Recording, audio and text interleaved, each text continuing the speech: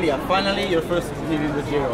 Yeah, really, finally. It's two years. Uh, I tried to win in the Giro, and uh, finally in Genoa, this is a, a, lucky place for me. I, I think um, it's incredible for me. Uh, I'm really, really happy for this. Now you're wearing the red jersey.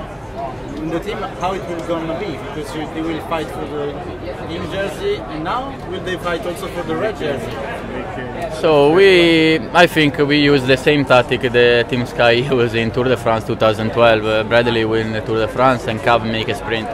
Sure, for me it's really, really important start uh, with a win stage uh, here in Genoa, and now we are all quiet for continue this Giro, and uh, we can try to win this Giro with Richie.